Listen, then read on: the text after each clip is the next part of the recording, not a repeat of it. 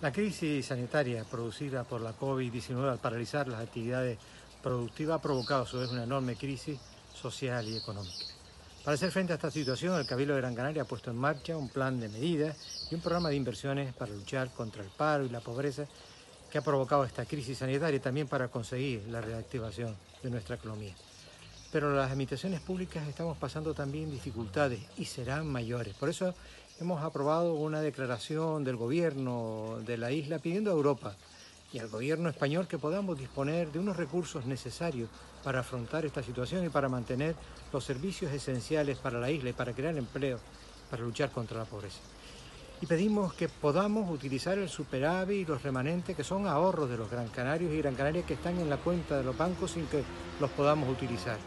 Que se nos autorice a recurrir al endeudamiento público flexible que se agilicen los procedimientos administrativos y los procedimientos de contratación para agilizar también a su vez la obra pública, que se flexibilice también igualmente la contratación y que podamos tener más empleados públicos para hacer frente a esta crisis social, económica, sanitaria.